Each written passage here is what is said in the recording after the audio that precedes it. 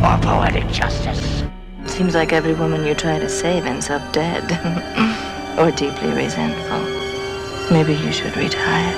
You're a liar and you're a killer. Now, how to decide what to do? I guess we'll try tails then. Going to fool! You're tainted forever. You don't get to pick. I've been dead once already. And as you can see, I'm a lot happier.